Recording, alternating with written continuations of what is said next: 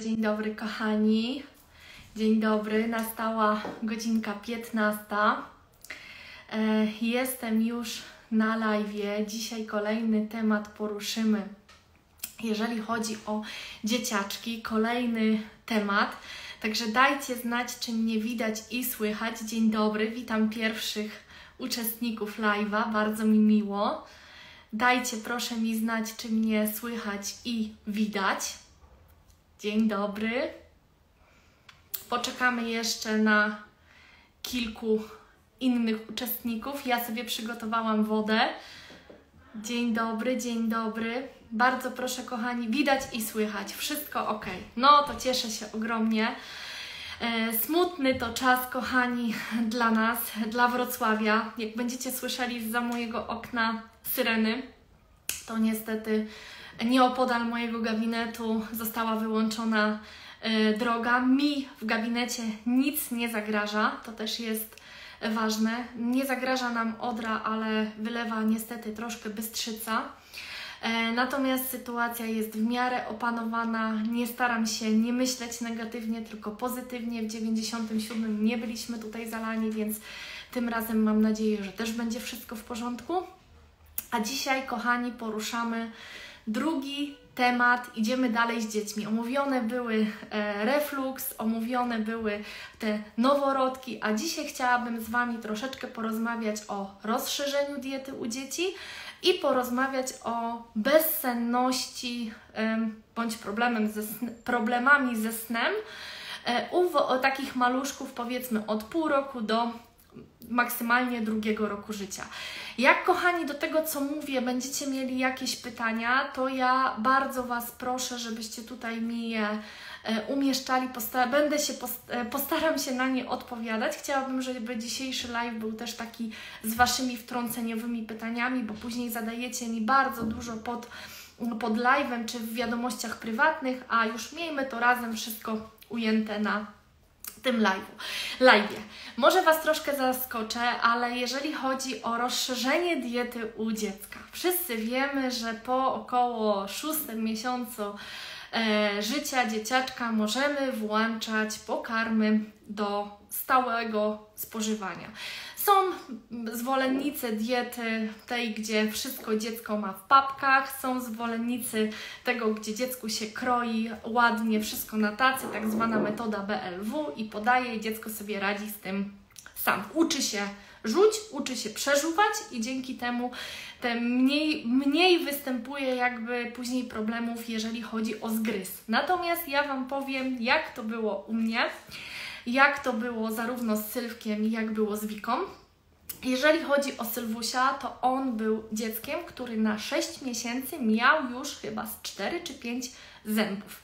Więc e, te pierwsze posiłki, które dostał, to były głównie posiłki, e, jeszcze byłam, to było moje pierwsze dziecko, więc były to posiłki w tak zwanych papkach.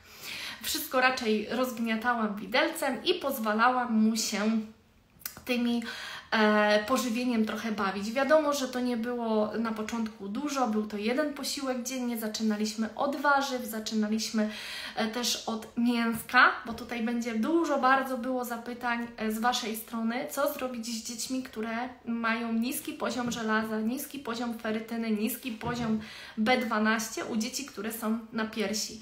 E, Kochani, moje, moje doświadczenie pokazuje mi, że takim dzieciom naprawdę w dość szybki sposób należy włączać mięso, włączać produkty, które są bogate e, w te właśnie e, witaminy, żelazo i żeby podnieść i wzmocnić te dzieciaczki. Tak samo jeżeli chodzi e, o żółtko. Ja muszę się przyznać, że zarówno przy rozszerzaniu pierwsze, diety u pierwszego dziecka, jak i u Wiktorii, bardzo szybko to żółtko, które bardzo często też jest alergizujące, wprowadzałam do diety. To mi też powiedziała moja kochana teściowa, która miała większe doświadczenie jako mama i jak to bywało kiedyś, że po kropelce dosłownie oddzielałam z żółtka. Na początku dawałam kilka kropelek samego żółtka, e, pipetką oddzielałam, później było to jedno czwarte żółtko, e, pół żółtka, aż doszłam do tego, że moje dziecko dostawało jedno żółtko dziennie.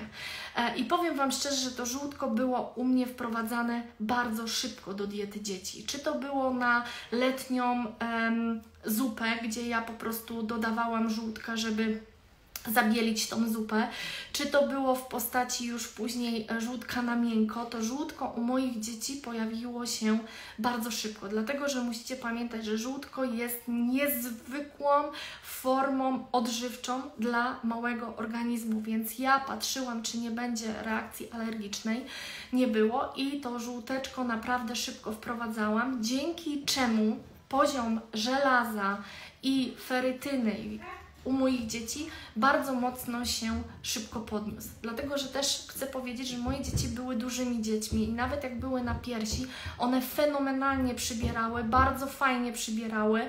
E, natomiast w tym momencie, kiedy już miały po 8-9 miesięcy i były wprowadzane stałe posiłki, mówię, zaczęłam głównie od warzyw, Wprowadzałam później żółtko, nie wprowadzałam białka. Białko e, kurze moje dzieci dostały gdzieś około dziewiątego miesiąca życia.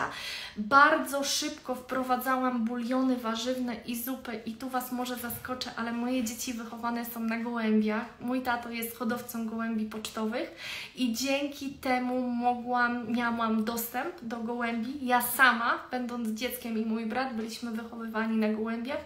Nasza babcia robiła rosoły i my po prostu, ja robiłam rosół e, z drobiu, właśnie z gołębia i później sobie e, miałam podstawę do każdej zupy, więc ten gołąb jest bardzo odżywczy. Ja to wyniosłam, mówię, z domu, tak moja babcia mi też mm, jakby to zapoczątkowała i ten gołąb naprawdę towarzyszył u moich dzieci praktycznie przez do pierwszego roku życia wszystkie wywary, które robiłam, to właśnie były wywary e, na gołębiu, po czym to mięso z gołębia dodawałam im do zblendowanej bądź pokrojonej zupy i one po prostu z, ten posiłek zjadały e, w postaci właśnie zupy i e, do tego dodawałam płynne żółtko, które mi tylko zabarwiało zupę, bo pamiętajcie o tym, że witamina C w żółtku neutralizuje się w momencie, kiedy to żółtko jest już ścięte. Więc ważne jest, żeby po prostu, żebyśmy się tej witaminy nie pozbywali, więc wtedy to żółtko, jak zabielicie letnią zupę, taką, którą dziecko może od razu zjeść, no to macie wszystkie wartości odżywcze, jeżeli chodzi o e, żółtko. Także mm, e, warzywa, wywary na zupach i to był gołąb. E, do pierwszego roku życia, dopiero w późnym, e, w późniejszym etapie, gdzieś około sobie swoje notatki otworzyłam około, kochani, 8-9 e, miesiąca, dopiero włączyłam u moich dzieci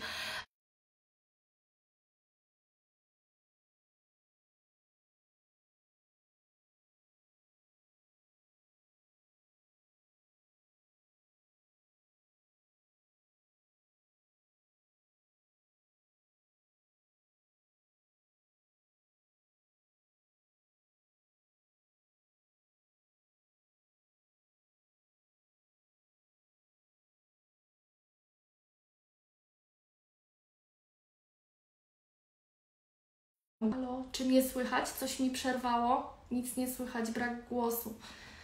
E, kochani, nie wiem, czy to jakieś utrudnienia. Halo, halo. Czy już jest w porządku, kochani? Zacina. Nie wiem, czy to nie jest związane. Już jest, tak?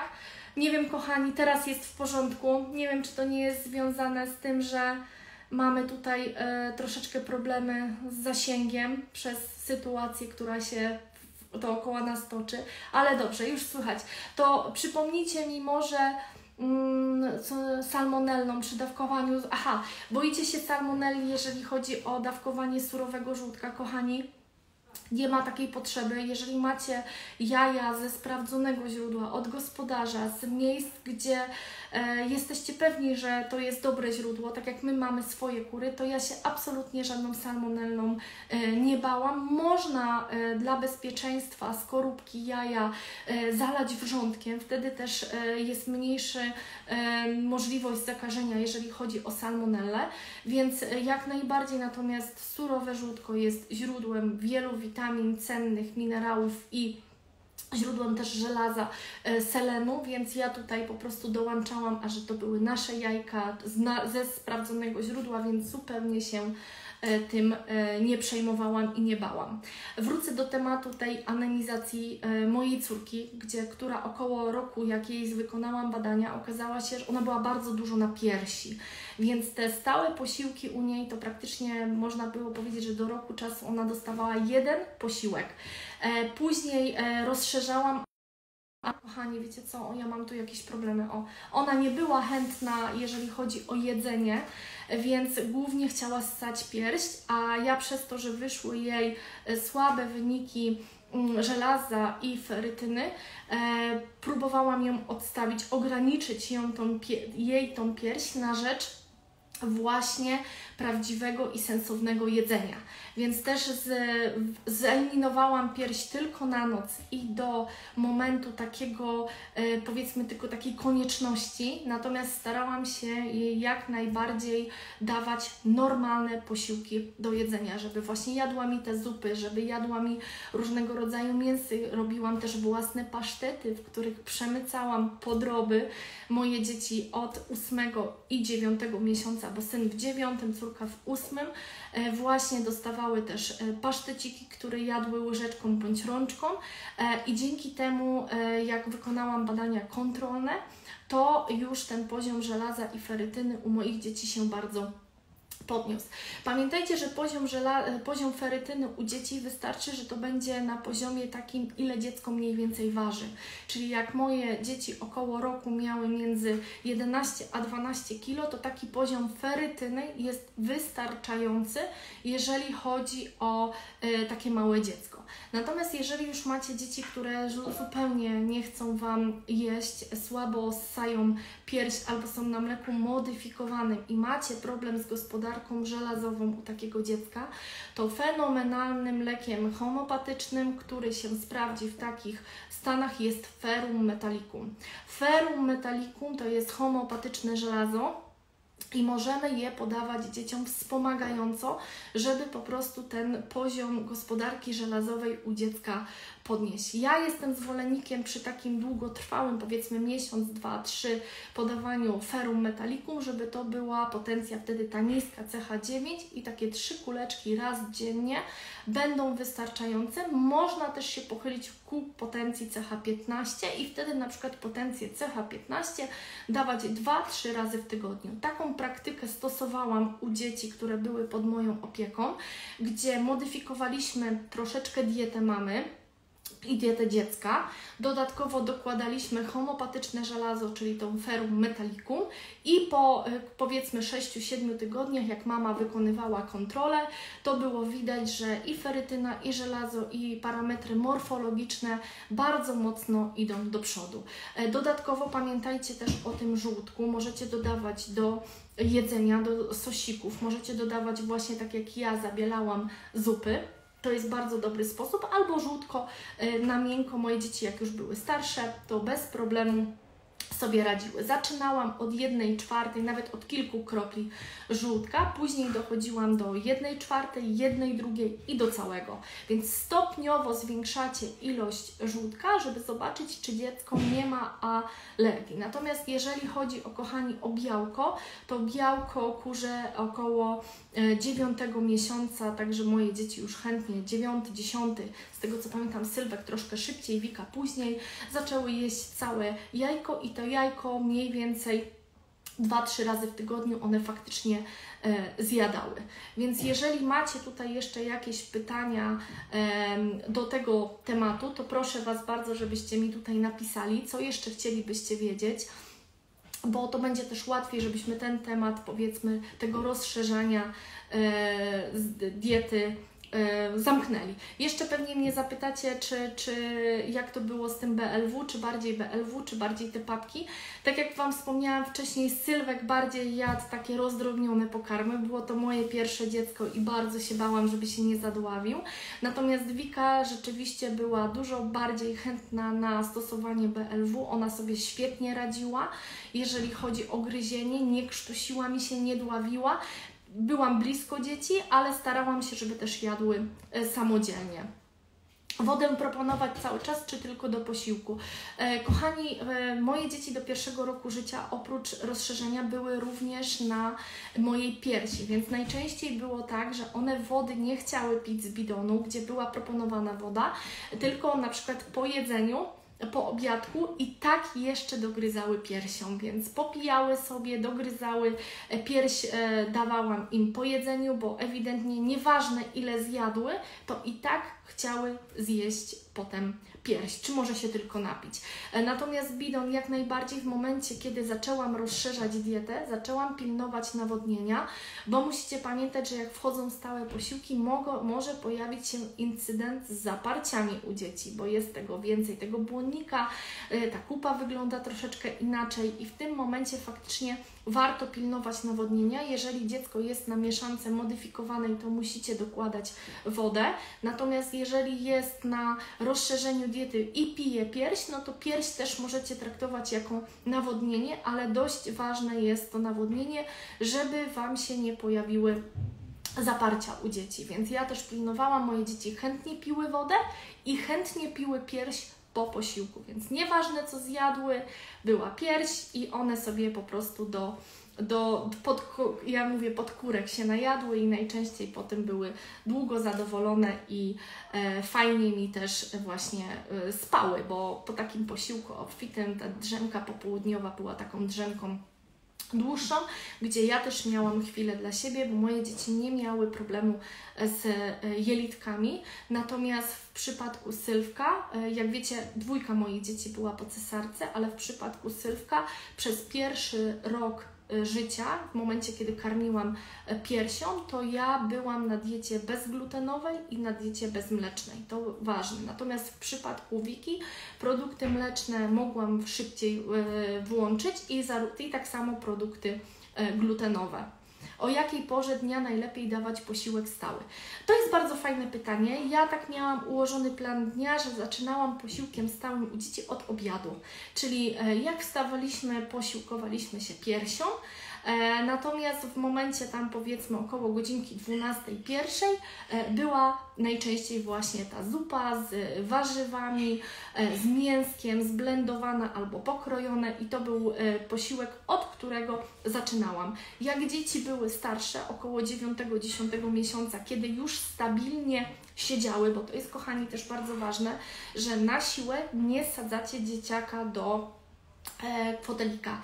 Dziecko, żeby mogło samodzielnie siedzieć, to musi samo umieć siadać. Więc w momencie, kiedy moje dzieci nie umiały same siadać, e, musiałam karmić je troszeczkę tak na sobie, że one leżały i tą e, po prostu nie siadały do fotelika do karmienia, bo odkładanie fotelika poduszkami i tak dalej to nie jest, kochani, dobre rozwiązanie. Dziecko wkładane jest do fotelika, kiedy samodzielnie potrafi siedzieć i ono tak naprawdę powinno samo usiąść. To też jest bardzo ważne, więc w momencie, kiedy moje dzieci samodzielnie siadały, zostawiałam ich e, w foteliku i wtedy faktycznie one sobie tą metodą BLW bardziej były zainteresowane. W momencie, kiedy rozszerzałam około szóstego miesiąca, bo moje dzieci ani Wika, ani Sylwek na szósty miesiąc samodzielnie nie sadzały, to była taka bardziej pozycja, że ja e, miałam je na sobie i próbowałam, i w tym momencie po prostu one y, jadły. Więc to jest bardzo ważne, że dziecko musi być przygotowane do tego i żeby samodzielnie siedziało w foteliku, nie obkładacie go poduszkami, tylko czekacie, aż dziecko samo usiądzie. Nie to, że posadzicie i ono siedzi, ok, wszystko fajnie, ale ono powinno samo usiąść, nawet z tego dywanu, z podłogi. Więc u mnie dzieci samodzielnie siedziały około dopiero 10 miesiąca, więc 10 miesiąc wkładałam do fotelika i one sobie tam po prostu same jadły. E, jeżeli chodzi, kochani, o to picie, to już powiedziałam. Jakby się pojawił problem zaparć u dzieci podczas rozszerzenia diety, mimo tego, że stosujecie mm, nawodnienie odpowiednie, to możecie się posiłkować takimi lekami homopatycznymi, które były we wcześniejszym etapie omawiane, jak nóż złomika, czy to właśnie jest alumina, e, czy to czasami też jest opium, e, żeby po prostu tą perystaltykę jelit poprawić i żeby dziecko nie miało problemów brzuszkowych. A co jak dziecko ma alergię na białko jaja kurzego? to czy żółtko można oddzielić i podawać? Tak, oczywiście, kochani. Ja zaczęłam od podawania żółtka, a później dopiero wchodziłam z białkiem. Bardziej alergizujące z mojego doświadczenia jest białko jaja niż samo żółtko. Więc żółtko zdecydowanie szybciej możecie wprowadzić do diety niż białko.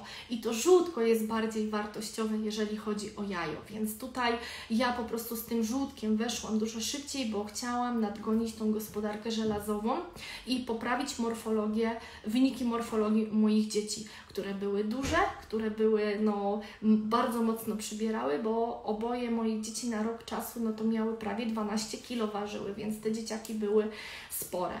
E, jeżeli Wam mimo tego, że wprowadzicie odpowiednie żywienie, e, rozbudujecie dietę, wprowadzicie produkty wysoko odżywcze, a mimo to dzieci mają dalej problem z gospodarką żelazową, to bym była skłonna zacząć podawać właśnie to ferum metalikum. I tutaj możecie się posiłkować małą potencją, to będzie cecha 9 i ona może być podawana nawet codziennie, albo na przykład potencja CH15 2-3 razy w tygodniu. To mam wypraktykowane na innych moich pacjentach, faktycznie to działa u dzieciaczków, sprawdza się y, i te parametry morfologiczne szybciej wracają do normy. E, dobra, kochani, no to może przejdziemy teraz do tego snu u dzieci. Co? Co by na to, żebyśmy przeszli jak to sobie radzić z tym snem, co się dzieje u tych dzieci, że one nie chcą spać, czy są jakieś metody. Tutaj może Was troszkę zaskoczę, bo bardzo dużo mam, bardzo dużo mam, pisało mi, że ich dzieci mają, nie wiem, 12, 13, 14 miesięcy i cały czas w nocy się budzą na pierś, budzą się kilka razy w nocy, ssają i te po prostu nocki są trudne dla rodziców i czy można coś z tym zrobić. No tylko ja, kochani, odpowiem trochę inaczej. Dziecko, które jest na piersi, generalnie naprawdę się budzi. Mam ogrom znajomych, którzy karmili piersią, bo jak wiecie, my tą edukację mieliśmy też dużo e, wcześniej, wiedzieliśmy, że to karmienie piersią jest bardzo ważne. Ja sama karmiłam Sylwka do 16 miesięcy miał, jak przestałam go karmić. E, Wika miała 15 miesięcy i muszę Wam przyznać, że moje dzieci również w nocy się budziły. Budziły się, possały pierś, szły spać. Natomiast o ile takie pobudki na possanie piersi czasami tym dzieciom po prostu chce się pić, a że pierś jest numer jeden w dalszym ciągu u takiego dziecka, no to one possały, szły spać, jest wszystko w porządku. Natomiast w momencie, kiedy dzieci zaczynają się budzić i e, albo mają napięty brzuszek, albo budzą się z krzykiem, albo mamy problemy totalne z położeniem dziecka na wieczór spać, to wtedy możemy e, wchodzić z lekami homeopatycznymi. Wtedy te leki homeopatyczne faktycznie sprawdzą się u takich dzieciaczków. E, natomiast jeżeli dziecko budzi się Wam tylko i wyłącznie, żeby się napić, po czym E, po napiciu się piersi spokojnie zasypia dalej, to możecie powiedzieć, że to nie jest żadna patologia i ja tego nie odbierałam nigdy jako patologię, dlatego że no faktycznie moje też się budziły, a tym bardziej na przykład jak e, były jeszcze jakieś gorące dni i tak dalej, no to pierś jest numer jeden, pierś jest tym napiciem się dla dziecka, więc moje się przebudzały, po czym possały i szły dalej spać. Jest to wszystko prawidłowe i ja nie znalazłam sposobu na to, żeby moje dzieci przesypiały całą noc. Być może taki sposób jest, o, o którym ja sama mogę nie wiedzieć, natomiast jeżeli macie tego typu e, takie same problemy, no to można powiedzieć, że to jest normalne. Natomiast jeżeli macie dzieci, które mają problemy ze snem, które się przebudzają w nocy, na przykład z krzykiem, które nie mogą zasnąć albo zgrzytają zębami, albo z, zaciskają zęby i tak to tutaj można poszukać rozwiązania homeopatycznego jak najbardziej i podam Wam trzy najbardziej popularne leki, które ja stosowałam u e, dzieci. Miałam przypadek, może to powiem na przypadku, bo będzie łatwiej. Miałam przypadek e, dziecka bodajże około 18 miesięcy, które nie było już na piersi ani na butelce, natomiast miało totalny problem z wybudzaniem się w nocy. e, do tego stopnia, że jak dziecko się wybudziło, to mogło nie spać do godziny drugiej, trzeciej e, i to był naprawdę taki duży problem bezsenności. I tutaj bardzo mocno poprawił sen dobranie leku Ignatia Amara. Ignatia Amara, kochani, sprawdza się u dzieci które są trochę takie, ja to mówię, e, księżniczki, jeżeli chodzi o dziewczynki. Są to takie histeryczne dzieci, ale je w nocy wybudzi najmniejszy dźwięk. To są dzieci, które jak y, są w obrazie Ignatia Amara, to musicie chodzić naprawdę na paluszkach, bo jakiś szmer, y, dźwięk, nie wiem, nawet, nawet szczekającego daleko psa, jakieś uderzenie czegoś w kuchni, jak położycie dziecko i ono już powinno iść na, na sen, ono się po prostu wybudzi. To można myśleć o Ignati. To są dzieci, które wybudzą się Wam w nocy z krzykiem, to są dzieci, które będą zgrzytać zębami. Bardzo mocno obraz zgrzytania zębami, u Ignati.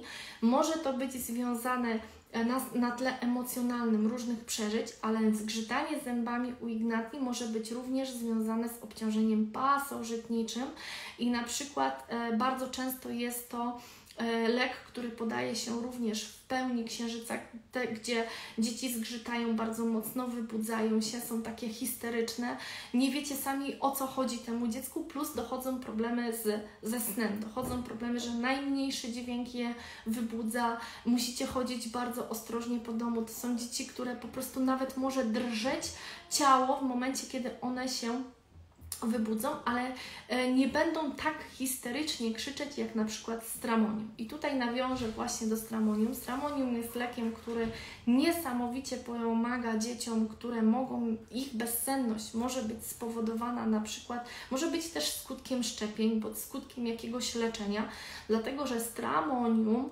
dziecko w obrazie stramonium będzie Wam się wybudzać z ogromnym krzykiem, nawet majaczeniem. Macie wrażenie, że to Wy podchodzicie do tego dziecka, chcecie go przytulić, a ono Was nie rozpoznaje. To są dzieci, które mają bardzo e, takie straszne sny, boją się ciemności, więc na przykład może być też taka sytuacja, że położyliście dziecko spać, a ono się wybudziło i zobaczyło, że pokój jest ciemny i wpadło w totalną histerię. To jak najbardziej stramonium będzie lekiem niezwykle przydatnym w takich y, stanach. A więc to będzie różnicowało między Ignatie a Stramonium. Stramonium ten taki delirium, krzyk, strach w jego oczach. E, dziecko, które na przykład e, ma, zaczęły się problemy ze snem po szczepieniach. To lek jest fenomenalny, jeżeli chodzi o e, tego typu problemy. Po silnym przestrachu, na przykład jak dziecko przestraszyło się psa, gdzieś, który na niego napadł i zaczynają się problemy z bezsennością, zaczyna dziecko się wybudzać w nocy z krzykiem, z darciem, z różnego rodzaju tego problemami, no to jak najbardziej to stramonium będzie dobrym lekiem, żeby poprawić i wyciszyć takiego dzieciaka. No i trzecim lekiem, który jest bardzo często stosowany przeze mnie w tych problemach, to są dzieci, które mają problem ze zaśnięciem, kochani. Powiedzmy, że Stramonium i Ignatia to są dzieci, które zasną, ale się wybudzają w nocy i mają różne, e, różne tam historie związane z tym wybudzeniem, to e, lek e, dziecko w obrazie e, kawy homopatycznej, czyli kofy ruba, to jest dziecko, które będzie miało problemy z zaśnięciem. To jest sytuacja taka, jakbyście byli po kawie. Dziecko jest pobudzone, rozdrażnione, e, skaczące na przykład po łóżku, wiercące się. Te dzieci to mają problem z zaśnięciem. One jak już zasną, to w miarę, w miarę śpią, natomiast e, u nich jest to zauważalne, że dziecko jest bardzo zmęczone, czasami aż się snuje, przychodzi do położenia się e, do łóżka i ono jest tak, jakbyście się czuli po wypiciu kawy. Kawa nas troszeczkę pobudza, poprawia nam też krążenie, więc te dzieci są takie pobudzone, są e, wiercące się i e, one mają problemy z samym zaśnięciem. Więc trzy leki homopatyczne, które naprawdę sprawdzają się e, bardzo, bardzo dobrze, to jest stramonium, ignatia amara i kofa ruba. Tu jeszcze piszecie, e, a w przedszkolu płacz po drzemce z tęsknoty za mamą. Kochani, wszędzie, gdzie wchodzi tęsknota za mamą, czyli ta bliskość, i to ja bym myślała o bardzo Wam dobrze znanej pulsatilli. Pulsatilla jest lekiem, który na przykład dziecko nie zaśnie u e, dziadków, które będzie e, miało problem z zaśnięciem bez mamy.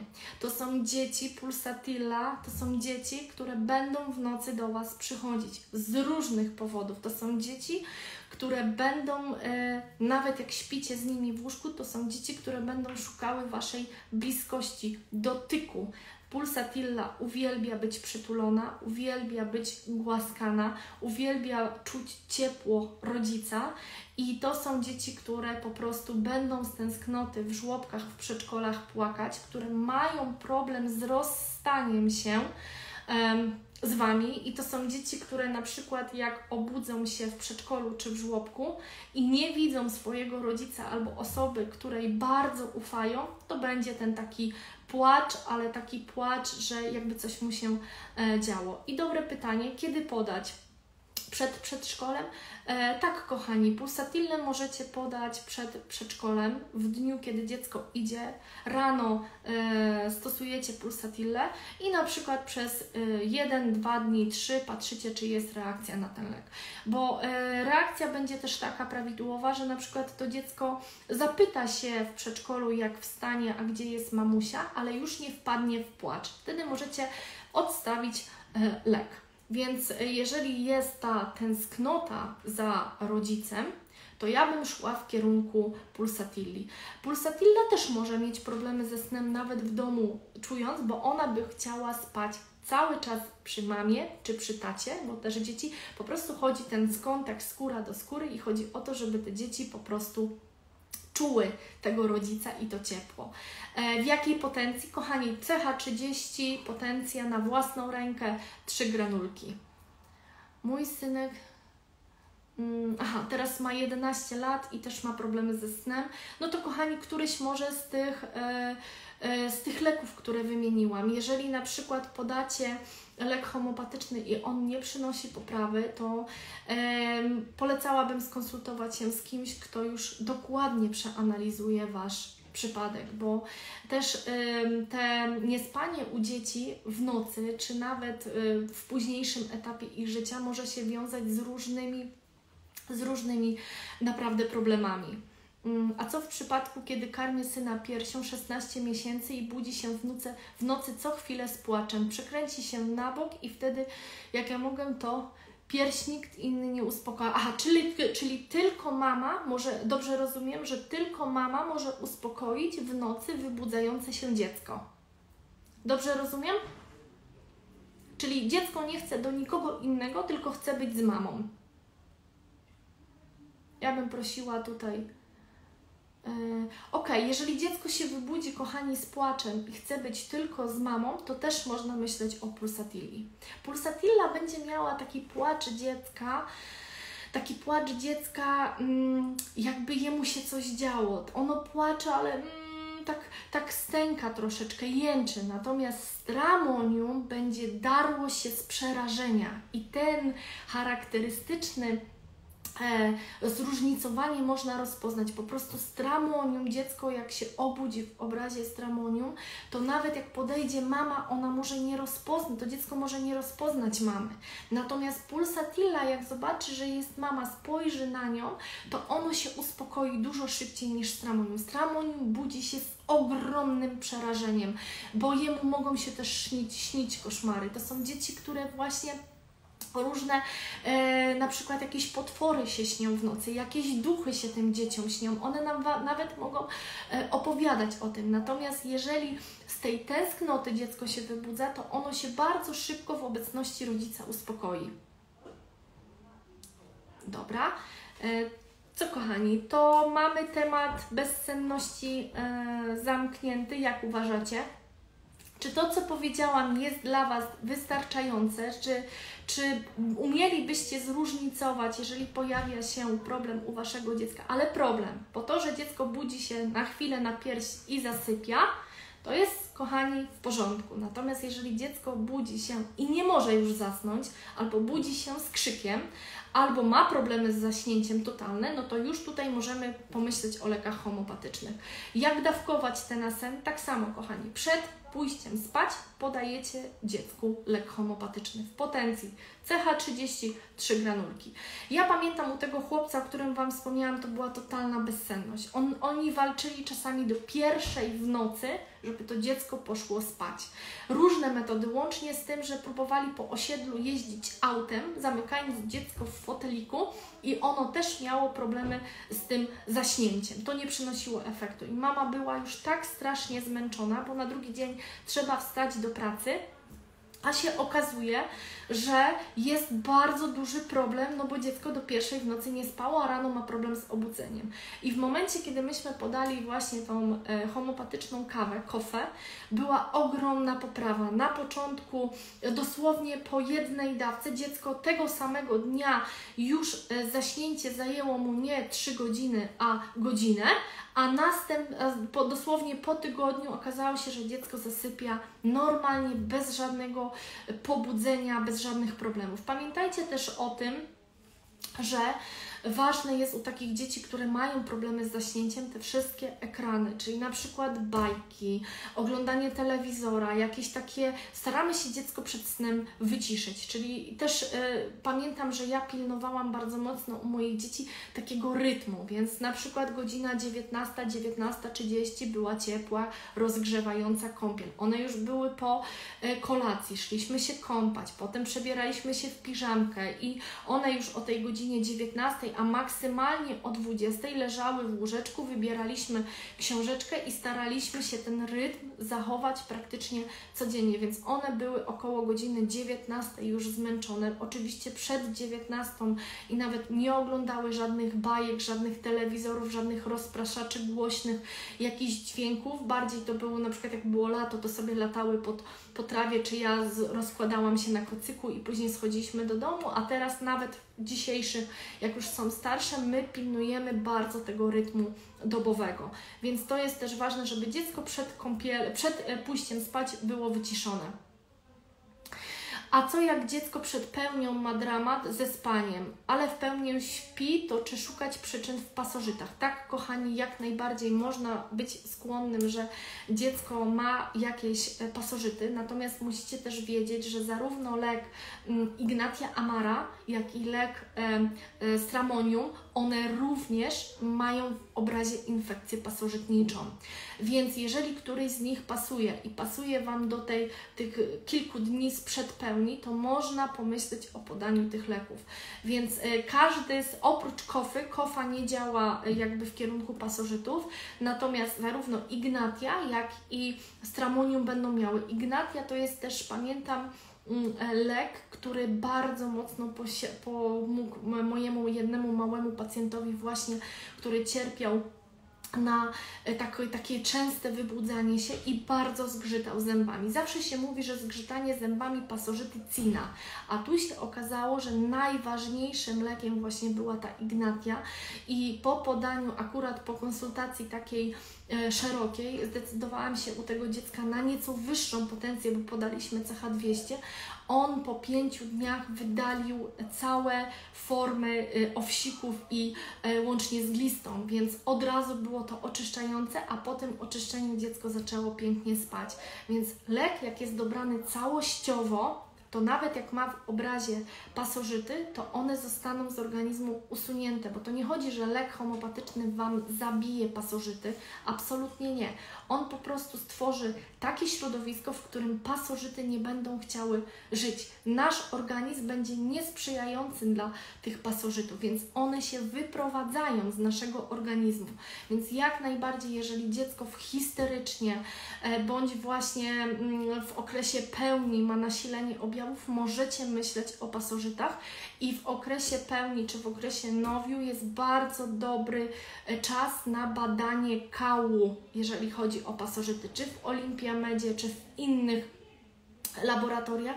E, trzy próbki kału z tego okresu najszybciej Wam wyjdą pasożyty, jeżeli chodzi o takie próbki, bo też trzeba sobie zdawać sprawę z tego, że pasożyty nie składają jaj przez cały miesiąc, więc żeby trafić na te jaja pasożytów jest bardzo ciężko.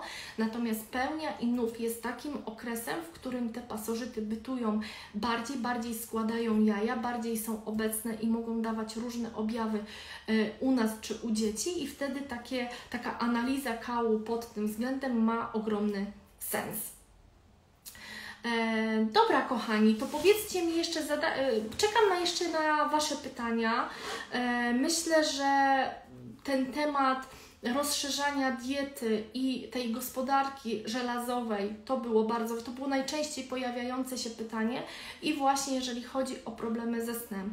Natomiast ze swojej praktyki mogę Wam jeszcze mm, poradzić, że bardzo fajnie na gospodarkę żelazową działa Florenta z biolitu, więc można małymi, mimo że tam jest napisane, że od, u starszych dzieci dawkujemy, to ja bym, mam też praktykę u dzieci młodszych, zmniejszaliśmy dawkę bardzo malutką, fajnie działa Florenta i jak najbardziej możecie też ją po prostu y, dołożyć u nawet takich malutkich dzieci. I ja u swoich kochani praktycznie od początku stosowałam również zakwas z buraka, małymi ilościami, ale łyżeczką. To czasami wystarczy, kochani, łyżeczka dziennie. To nie muszą być od razu ilości na szklanki czy na kieliszki to może być łyżeczka, więc e, zakwas z buraka i bardzo szybko wprowadziłam swoim dzieciom sok z kiszonych naszych ogórków. One do dnia dzisiejszego bardzo, bardzo lubią e, i po prostu jak najbardziej z takich rzeczy naturalnych e, myślę, że właśnie zakwas z buraków jest bardzo bezpieczny, możecie jak najbardziej dodać i tak samo w przypadku soku z kiszonych ogórków. Dziecko zasypia tylko przy piersi, czasem na rękach, przy odkładaniu się budzi. Eee, trzeba by było, kochani, przeanalizować, e, czy tak było od samego początku, bo zdarzało się, że być może jakieś zabiegi okołoporodowe wpłynęły na to, że dziecko śpi tylko jak czuje mamę. Być może jest to sytuacja, w której dziecko właśnie potrzebuje tej homopatycznej pulsatilli, czyli ono czuje się e, niebezpiecznie w momencie, kiedy Wy je odkładacie do łóżeczka.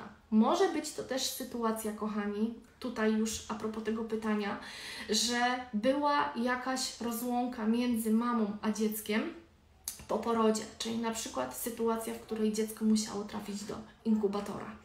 Albo były powikłania u mamy podczas samego porodu i na przykład była operacja ratująca życie albo y, jakiś pojawiła się antybiotykoterapia i nastąpiło rozłączenie tego dziecka. Więc dziecko ma zakodowane, że zostało, urodziło się i nie kojarzy, nie przypomina sobie dotyku mamy, zapachu, nie rozpoznaje zapachu, zostało oddane w inne miejsce. Wtedy jak najbardziej może być. Yy, potrzebny lek na taką głęboką rozłąkę i tutaj na przykład sprawdziłby się wtedy natrium muriaticum. Czyli w momencie, kiedy była ta rozłąka z mamą, kiedy dziecko trafiło do inkubatora, a później po takiej sytuacji cały czas Was pilnuje i jest e, sytuacja, że ono zasypia tylko przy piersi. W momencie, kiedy tutaj Pani napisała, że tak było od samego początku, to ja bym spróbowała z tą pulsatillą. E, podać pulsatillę, można nawet skusić się na poradę u e, homopaty, bo może 30 być niewystarczająca, jak to problem na przykład, nie wiem, dziecko ma 18 miesięcy i tak było od urodzenia, to nawet byłabym skłonna pójść w wyższą e, potencję. Na przykład można wtedy posiłkować się CH 200 albo CH 1000, ale tutaj warto skonsultować się po prostu z homopatą. Natomiast na własną rękę może Pani podać CH 30, na przykład na drugi dzień powtórzyć i obserwować, czy w przeciągu 7-10 dni sytuacja się nie zmieni. Jeżeli sytuacja się nie zmieni, to szłabym w kierunku e, po prostu konsultacji indywidualnej E, czy jak stosuję CH200, kochani? CH200 jak najbardziej można stosować, tylko ja zawsze polecam te wyższe potencje, kochani, stosować z konsultacją z homeopatą. Dlatego, że te potencje mogą Wam wpływać i na stan emocjonalny, i na stan fizyczny, więc tutaj, żebyście nie mieli jakichś przykrości związanych z, nie wiem, z gwałtownym wyrzutem na skórze, czy innymi, czy na przykład chwilowe pogorszenie objawów, to warto zawsze skonsultować się e, z homopatą. Nie chciałabym, żebyście potencję CH200 stosowali na, własne, na własną rękę. Jedyny lek, który można zastosować w tej potencji, to jest arnika na bardzo silny uderzenie głową, uraz, siniak, gdzie bardzo często mi podsyłacie zdjęcia, dziecko się uderzyło, nagle guz rośnie w oczach, wtedy arnika CH200 jest y, uzasadniona i ją bezpiecznie możecie takiemu dziecku podać. Natomiast jeżeli chodzi o problemy ze snem czy y, wszelkiego innego rodzaju, to zawsze warto skonsultować się z homeopatą bądź osobą, która wie, jak postępować w przypadku, gdyby się coś po tej dwusetce wydarzyło. My mamy homeopatę, kolegę kazała stosować, e, rozpuścić jedną granulkę w 30 ml i później podawać co dwie godziny. Słuchajcie, kochani, każdy homeopata ma swoje indywidualne dawkowanie. Tak jak ja Wam powiedziałam, ja uwielbiam podawać CH30. U mnie zawsze są trzy granulki i na przykład powtórzyć to po godzinie bądź dwóch, w zależności jak się rozwija sytuacja, a jak dziecko wychodzi mi z infekcji, i o tym pisałam Wam w książce Zdrowe Dziecko, ja stosuję na doleczenie lek z wody. Co to znaczy? Biorę szklankę z wodą, 100 ml albo może być nawet więcej, wrzucam te same trzy granulki, które e, le, leku, który podziałał na dziecko, chociażby na przykład w, in, w infekcji, i z tego łyżeczkę, dwie, trzy, trzy maksymalnie w ciągu dnia, czyli z tego roztworu 100 ml łyżeczka do podania. I to jest u mnie lek na doleczenie. Jak na przykład widzicie, że granulki doustne, które podaliście, bardzo fajnie zadziałały, ale jeszcze dziecko e, no, wybudza się, może nie jest to taki, tak intensywnie, jak to było wcześniej, możecie zastosować na doleczenie, na przedłużenie działania właśnie tego, ten lek z wody. Ale każdy homopata, ilu ja znam, może mieć indywidualne swoje podejście i jak Wam zaleci e, po konsultacji dawkowanie, nie wiem, co dwie godziny leku z wody, to stosujcie się do tego, co powiedział homeopata, bo każdy z nas, każdy homopata ma swoją też praktykę. Ja na przykład, jak już wiecie, nie lubię tych bardzo niskich potencji, e, zwłaszcza w infekcji, ale w takim dłuższym stosowaniu, jak mówię, gospodarka E, żelazowa, żeby podnieść hemoglobinę i żeby ten organizm łatwiej przyswajał żelazo, lubię podawać ferum metalikum w potencji CH9. To, o czym powiedziałam na samym początku naszej tutaj rozmowy. Także wszystko to zależy, jaki mamy problem. Yy... Dziecko się trochę budzi, podnosi się, podnosi pupę i robi mostki czy to jest forma zabawy u tego dziecka, czy to jest raczej forma, y, że ono ułatwia sobie, nie wiem, oddanie gazów z jelit, bo też tak może być. Dlaczego przyjmuje taką, taką pozycję? No trzeba by było, kochani, tutaj bardziej się zastanowić, y, jaka jest przyczyna, dlaczego on y, tak robi. Czy to jest, jeżeli to jest forma zabawy i po prostu dziecko Wam się w nocy wybudziło, no to pomyśleć można o tej Ignatii, tak? E, natomiast jeżeli ono się pręży, wygina, bo coś mu dolega, no to już bym tutaj szukała nie tyle leku na sen, bo to nie musi być przyczyna związana z tym, tylko właśnie z bólami brzuszka, jakimiś zaparciami u dzieci. No tutaj już może być wiele, wiele innych czynników, które na to e, wpłynąć mogą. Więc zawsze jest to, od czego, dlaczego dziecko tak, a nie inaczej się zachowuje. Bo sam na przykład mój syn obudził się ostatnio, no, nie leciałam od razu ze stramonium, tak, ale Wam powiem dla przykładu. Obejrzał jakąś głupią bajkę, bo już ma te 6 lat, więc sobie coś tam włączył. I w nocy mi się wybudził, właśnie było ciemno w pokoju, on się wybudził z takim silnym przestrachem, zaczął krzyczeć mamo, mamo, ja do niego przybiegłam, nie do końca mnie poznał, tak, e, nie do końca mnie poznał, po czym się przytulił i zaczął tam histerycznie, mocno, e, tak, z takim krzykiem płakać, no to nie od razu dałam mu stramonium, bo się okazało, że przy, przyśnił mu się jakiś potwór z bajki, którą oglądał w dzień. Więc porozmawialiśmy, że takich bajek, e, żeby nie włączał, nawet nie wiemy kiedy on to włączył, więc nie zawsze ta sytuacja się już nie powtórzyła, więc nie musiałam iść i podawać to stramonium. Ale jeżeli na przykład widzicie u dziecka, że to jest nagminne, powtarzające się, cały czas towarzyszy, to wtedy można myśleć o zastosowaniu homopatii. Jeżeli to była jednorazowa sytuacja wynikająca z tego, że on coś w ciągu dnia obejrzał, no to niekoniecznie, nie trzeba od razu dawać granulki. Trzeba porozmawiać i zapytać się dziecka,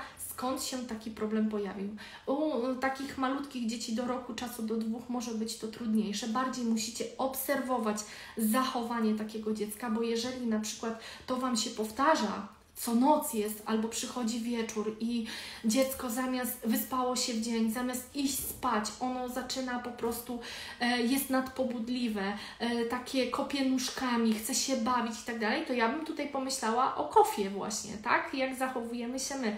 My jak jesteśmy ospali i tak dalej, napijemy się kawy, kawa nas pobudza, więc homeopatyczna kawa będzie niwelować takie pobudzenie, czyli podobne leczymy podobnym. To jest jedna z głównych zasad homeopatii, czyli jeżeli ma macie dziecko przed snem bardzo silnie pobudzone, mające problemy z zaśnięciem, ona jest no, y, takie rozdrażnione też czasami. Każdy hałas, od razu to dziecko, nie wiem, oczy jak 5 zł, to ja bym pomyślała o homeopatycznej e, kawie, kofie. Natomiast w momencie, kiedy macie na przykład sytuację jednorazową, że dziecko e, po jakimś, nie wiem, e, programie telewizyjnym, czy po jakiejś rozmowie w przedszkolu coś usłyszała i jednorazowo się coś wydarzyło, niekoniecznie musimy od razu wchodzić z lekami homeopatycznymi.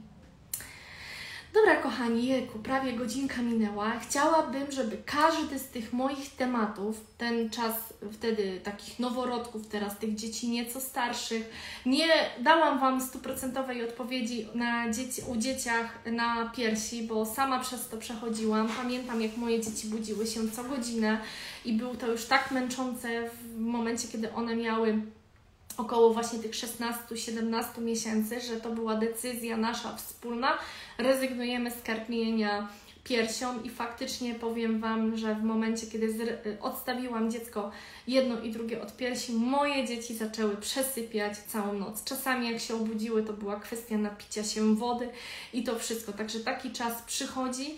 E, natomiast jak były na piersi, no to budziły, był taki był taki czas, że ja wstawałam co godzinę, one tylko przyczepiały się dosłownie, dosłownie na 3 sekundy do piersi, pociumkały raz, dwa i szły spać, a ja już byłam wybudzona. I to był czas, kiedy moje zmęczenie sięgnęło zenitu i postanowiłam odstawić dzieci od piersi. E, u syna było to bardzo proste, ja się bardziej bałam niż on więc tutaj jeszcze o tym odstawieniu powiem. Bardzo się bałam, natomiast on się odstawił błyskawicznie, super. Musiałam tylko stosować leki na zablokowanie laktacji.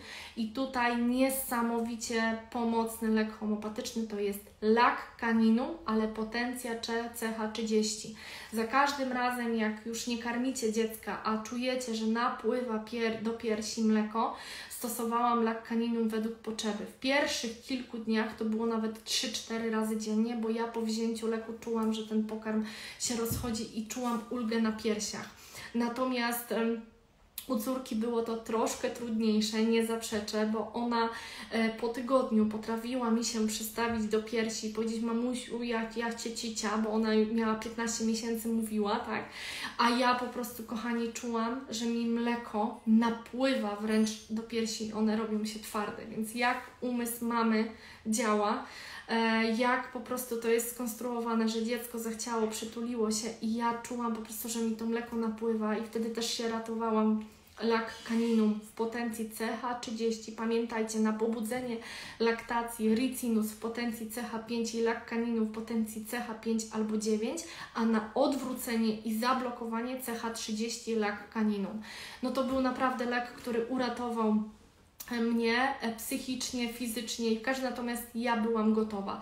I e, tak naprawdę będziecie wiedzieć, kiedy Wy jesteście gotowi, bądź Wasze dziecko. E, pamiętam, jak mm, syn miał 13 miesięcy i poszłam do naszego znajomego ortopedy na badanie, troszkę miałam problem z kręgosłupem i on mówi, gdzie takie duże dziecko rok jadło, przestań, odstawiaj od piersi, zregenerują się i drugie dziecko to jak wyszłam po tej wizycie, to byłam na niego wkurzona, powiedziałam, że nigdy nie odstawię mojego dziecka, że to jest najlepsze, co ja mogę dać i w ogóle co za głupoty on mi gada. Natomiast jak był ten 15 czy 16 miesiąc, kiedy naprawdę przez dobre dwa tygodnie nie spałam w nocy prawie wcale, bo dziecko sobie z mojej piersi zrobiło dosłownie smoczka. Smoczków nigdy nie mieli, czyli na chwilę jadło i odstawiało. To ja stwierdziłam, że odstawiam i też ważne, że w momencie, kiedy ja odstawiłam dzieci od piersi, jedno i drugie, nigdy nie zastosowałam żadnych mieszanek ym, mlek zastępczych, ani żadnych koktajli, ani żadnych mlek z kaszką na noc. Moje dzieci jadły kolację, i szły spać. Miałam przy łóżku bidon z wodą i jak się budziły w nocy, przytulałam, dawałam wodę do wypicia i to było koniec. Więc u nas nie było żadnego etapu karmienia butelką w nocy. Myły zęby, koniec. W momencie, kiedy odstawiłam od piersi, nie było powrotu już do żadnego jedzenia w nocy.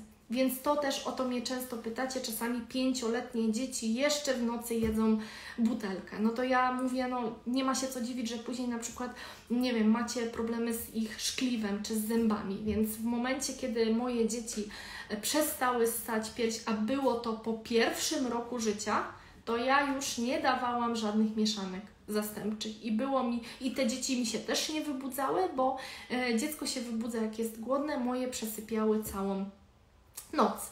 Więc e, faktycznie po odstawieniu od piersi zaczęły, zaczęliśmy wszyscy spać. No cóż, kochani, ma, ja oczywiście za, postaram się zapisać tego live'a tutaj dla Was, żeby on został na profilu. Bardzo Wam dziękuję za udział, naprawdę jest to też dla mnie ogromnie ważne. Osoby, które nie mogły, odsłuchajcie sobie na spokojnie, zróbcie sobie też notatki, bo y, warto później nie o, sięgać do notatek, a nie szukać gdzieś tam po live'ach, bo tych live'ów robi się coraz więcej.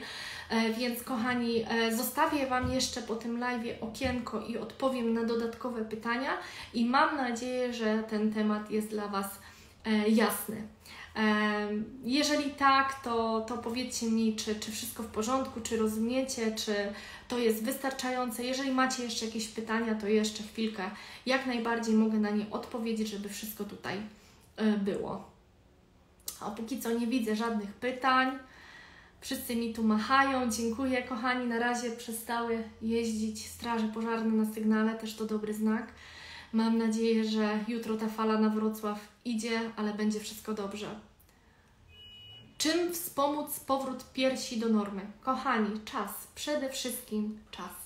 Czas, potem kolagen, E, jak najbardziej, ale pamiętajcie, że tkanka tłuszczowa, jaką jest gruczoł mleczny, musi się zregenerować, więc moje piersi do pięknego wyglądu wróciły po roku czasu od odstawienia od piersi i niezwykle pomógł mi w tym kolagen i jod, bo jod, gruczoły mleczne są wypełnione jodem. Jeżeli w Waszej diecie jodu brakuje, to warto go suplementować, a uwierzcie mi, piersi potem stają się jędrne, ładne, ale też potrzebny, mówię, potrzebny jest czas. Na, po, po karmieniu, zaraz bezpośrednio po, no to ja też powiem szczerze, gdyby nie jakieś staniki unoszące, no to te piersi nie były takie ładne jak przed.